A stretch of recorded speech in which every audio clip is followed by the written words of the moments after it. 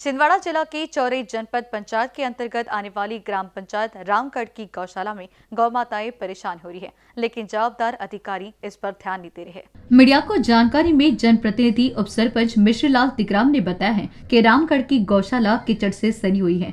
यहाँ पर गायों को खड़े होने और बैठने की भारी समस्या है। चारों ओर कीचड़ फैला हुआ है और गौशाला के सामने वाला भाग कीचड़ से सना हुआ है। यदि मरम्मत कार्य नहीं किया गया तो गाय बीमार हो सकती है, क्योंकि चारों ओर कीचड़ और पानी भरा हुआ है।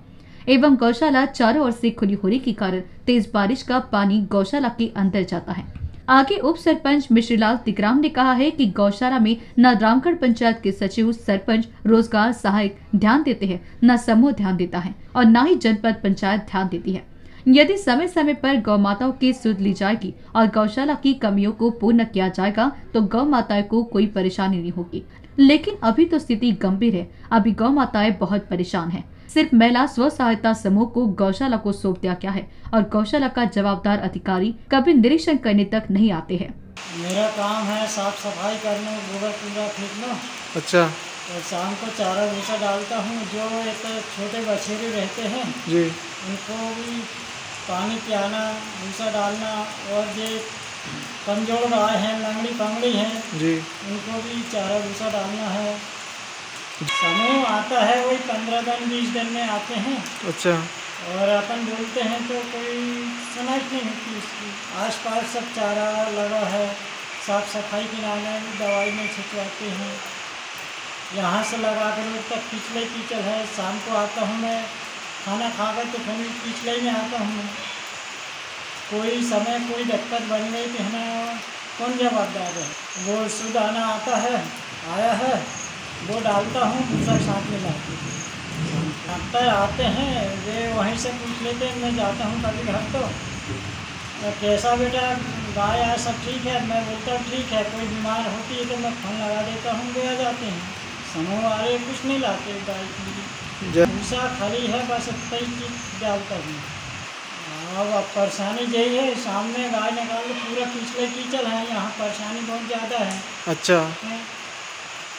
ये ग्राम पंचायत रामगढ़ की गौशाला है। जिसमें मैं अभी आया हूँ सरपंच भाई साहब के साथ। यहाँ इतनी स्थिति खराब है। जी। जहाँ से रोड से लेके यहाँ तक मतलब सौ मीटर की दूरी है।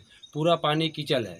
और अंदर फिर एक बाउंड्री है उसके अंदर बाहर वाली बाउंड्री में उसमें भी पूरा कीचल है। और अंदर भी मान लो उतनी सारी व्यवस्था नहीं है गौ माता के लिए बहुत दिक्कत है। और शासन प्रशासन तो इतने कह रहे कि सरपंच जेल जाएगा तीन दिन के लिए एक सौ इक्यावन की धारा लगेगी। ना हो शासन को कि इसमें और गौशाला की और व्यवस्था बनाए। यहाँ सौ जानवर है और एक सौ पचपन जानवर अभी यहाँ हैं गौ माता हैं। तो इसमें और बढ़ाने की कोशिश करें इसमें मतलब कि टारगेट और पशु इसमें भर्ती ले सके। जी महोदय जी अभी आपने गौशाला में क्या आने की समस्याएँ देखे हैं कृपया बताएँ। समस्या तो यहाँ कीचल पूरा है ना यहाँ गौ माता कैसी रहती होगी ये समस्या जी। है। अब हमको कोई मार्गदर्शन देता नहीं है कि अपने को यहाँ क्या बनाना क्या नहीं सब समूह के द्वारा चल रहा है पूरा। जी। समूह वाले आई सील साइन कराई और कितना है क्या है चली गई हो गया। आपको जानकारियाँ नहीं देते हैं? अपन वही जानकारी वही कितने जानवर हुए वही देखते हैं अपन उसमें। जी। महोदय जी क्या समस्या है? समस्या ये है कि हम आज गौशाला का निरीक्षण करने आए हैं। जी। जिसमें इतनी अनियमितता पाई गई पूरा कीचड़ भरा हुआ है जानवरों को बैठने की जगह नहीं है। और जहाँ से जानवर अंदर घुसते वहाँ भी पूरा कीचड़ है और उनके खाने की सामग्री भी पूरी बेकार नज़र आ रही है और कैसे जानवर यहाँ रह रहे हैं और हम इससे बहुत व्यथित हैं। इसमें जनपद ये पंचायत के सिर्फ़ देख रेख में इसका पूरा संचालन जनपद सीओ द्वारा किया जाता है, जो कि हमारे दो साल के कार्यकाल में अभी तक जनपद सीओ द्वारा यहाँ निरीक्षण नहीं किया गया। और ये सबसे बड़ा यहाँ भ्रष्टाचार नज़र आ रहा है। और यहाँ की व्यवस्था देख के कोई ये नहीं कहेगा कि ये गौशाला है। यहाँ तो गौ कुल मिला के परेशान हो रही है। और गाँव में भी बहुत सारी आवारा पशु घूम रहे हैं, जिसमें गाँव के किसान परेशान हैं। जी, क्या आपको जानकारी है कि गायों को किस प्रकार से भूसा दिया जा रहा है या फिर सांदी दी जा रही है? क्या आपको क्या जानकारियाँ हैं? जानकारी ये है कि वो चौकीदार द्वारा बताया जा रहा है कि वो खली रखी हुई है और वो चना का भूसा है और उसमें आधा गेहूँ का जी। और वो चना का भूसा तो अभी खराब हो जाएगा। जी। तो उसको क्या जानवर खाएँगे?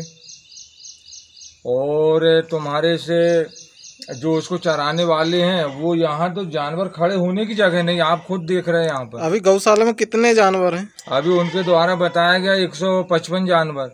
अच्छा अच्छा। और शासन कह रही है कि एक जानवर पे चालीस रुपये खर्च है। जी। तो उस हिसाब से तो छः हज़ार दो सौ रुपये प्रतिदिन का यहाँ खर्च आना चाहिए। जी आप क्या कहना चाहते हैं? खुले स्पष्ट शब्दों में बताइए। मैं तो ये कहना चाहता हूँ कि यहाँ पर जो जो प्रभारी जनपद सीओ यहाँ आके निरीक्षण करे और इसकी पूरी व्यवस्था बनाए। जी। और इसमें पंचायत का कोई लेना देना नहीं है सिर्फ़ हमारी देख रेख में है। सारा जो जो जो भी समूह इसको चलाता है उसके अमाउंट में वो राशि जाती है। जी। और बार बार हमने इस विषय में चर्चा किए सचिव से भी रोज़गार सहायक से तो वो सही जानकारी देते नहीं भाई दो आप इनके इसके कौन सा अधिकारी हम उनसे बात करेंगे। जी। और भी गुमराह करते हैं। तो इसमें हो सकता है वो लोग भी मिले हों। जी। तो ये यहाँ दुर्दशा है गाय की और सरकार द्वारा जो दिनों दिन हम पेपर के माध्यम से गौ रक्षा की बात सुन रहे हैं जबकि गौ रक्षा के लिए शासन इतना खर्च कर रही है और यहाँ गौ दुर्दशा की स्थिति में है गाँव के सैकड़ों किसान परेशान है पूरे गाँव में लोगों की फ़सल चल रहा है वो। उसमें वो बोलते हैं कि हमारे यहाँ जगह नहीं है। ऐसी स्थिति में शासन गौशाला का विस्तार करे। और जो जितने और जानवर घूम रहे हैं उनको भी उनके अंडर में लें जी। जिससे किसान भी परेशान नहीं रहेंगे और गौ सेवा बढ़िया होगी। और इसमें हम हम पूरा सहयोग देंगे पंचायत के लोग। यही हमारा अनुरोध है निवेदन है। या फिर इस ऐसा नहीं करोगे तो इसके लिए फिर हमको आंदोलन करना पड़ेगा। किसान आक्रोशित होंगे उनकी फ़सल बर्बाद हो रही कितनी महँगी लागत है। आए दिन परेशान है, वो पूरे खेतों में घूम रहे जानवर बाहर से लोग छोड़ के चले जाते हैं। और यहाँ जब जमा करने आते जी कहते कि हमारे पास जगह नहीं है। वो लोग ऐसे ही छोड़ के चले जाते हैं और गाँव में वो आवारा जानवर है, दूसरे किसानों को नुकसान पहुँचा रहा है फ़सल को। एनबीसी न्यूज़ के लिए चौराई से राजेश उइकी की रिपोर्ट।